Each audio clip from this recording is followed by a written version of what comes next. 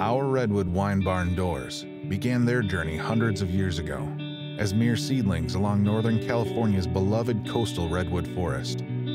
Growing into magnificent trees, they were harvested in the early 70s and developed into 30,000 gallon red wine tanks for a prestigious Napa Valley winery. Now endangered and no longer felled, they provided an added complexity and richness to the wine's flavor.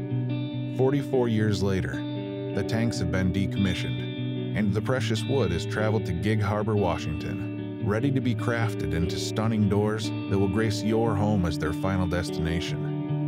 The Redwood Wine Barn Doors. Visit realcraft.com today.